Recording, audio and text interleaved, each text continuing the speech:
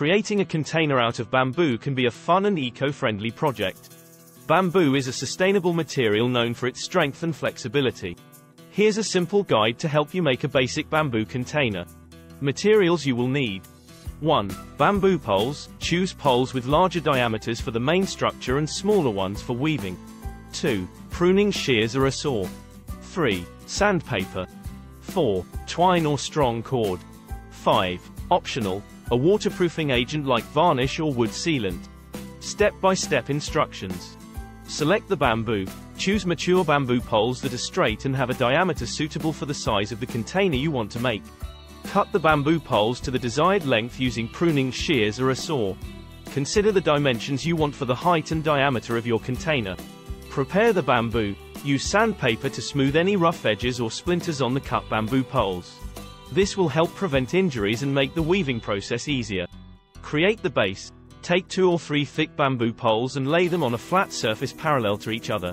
Use thinner bamboo poles to weave horizontally through the vertical poles, alternating over and under each one. This will create the base of your container.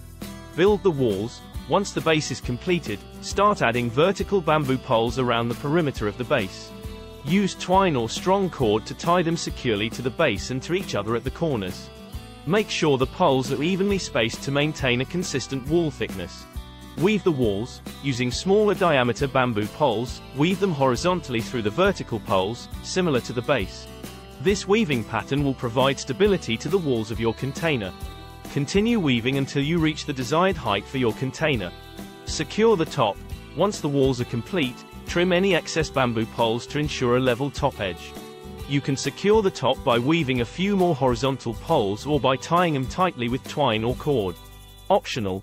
Waterproofing, if desired, if you plan to use the bamboo container for plants or liquids, you may want to consider applying a waterproofing agent like varnish or wood sealant to protect the bamboo from moisture damage. Follow the manufacturer's instructions for application. Finishing touches, trim any excess twine or cord and make sure all the connections are secure. You can also add decorative elements or a handle if desired. Remember to be mindful of the sustainability and responsible sourcing of bamboo. If you're unsure about the specific species of bamboo you have or its environmental impact, it's a good idea to do some research or consult with local experts. Enjoy your handmade bamboo container.